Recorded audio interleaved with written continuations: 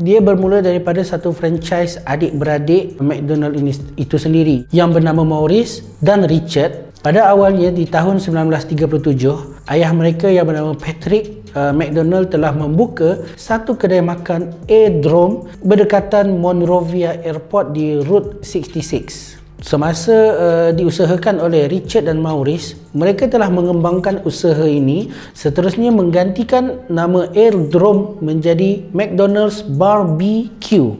Maka mereka berdua ni dia sedar perniagaan mereka ni sebenarnya mendapatkan keuntungan daripada penjualan burger. Jadi konsep uh, penjualan mereka ditambah dengan drive-in di mana yang order hanya duduk tunggu di dalam kereta sahaja kemudian datanglah waiter ambil order daripada kereta tersebut. Sehingga makin lama usaha adik-beradik ini makin besar dan berkembang jadi mereka berpendapat bahawa ada baiknya layanan mereka ditingkatkan menjadi lebih pantas, lebih laju. Jadi satu arkitek diminta untuk mereka bentuk susunan uh, meja dan tempat memasak di dalam dapur tersebut sehingga menghasilkan masa yang lebih cekap. Dan juga nama restoran ini lebih pendek menjadi McDonald's dengan logo pertamanya iaitu Speedy diletakkan di hadapan uh, restoran. Kejayaan McDonald's ini dalam perniagaan dia kemudian memanggil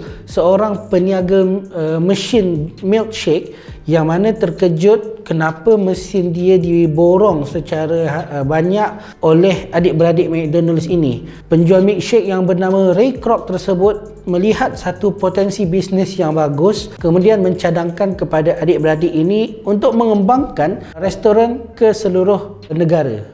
Bila bisnes ni makin lama berkembang, lepas tu ada pula orang lain yang cuba masuk ke dalam syarikat tersebut, tipulah kalau tak ada konflik dalam syarikat ini. Akhirnya Kroc membeli saham McDonald's pada tahun 1961 dengan harga 2.7 juta US dollar. Semenjak hak perlesenan ini didapat oleh Kroc, maka Kroc telah mengganti konsep McDonald's ini dengan memperkenalkan seperti The Golden Arch, kemudian menu-menu baru seperti yang kita kenal, Filet O Fish, Big Mac serta maskot Speedy ditukar kepada maskot Ronald McDonald's dan sebagainya. Sehingga sekarang, McDonald's telah tersebar di seluruh negara di dunia ini dalam 118 negara termasuklah di Malaysia. Satu fakta yang unik walaupun ada negara yang membenci Amerika Syarikat namun di negara ini pun ada satu cawangan McDonald di seluruh negara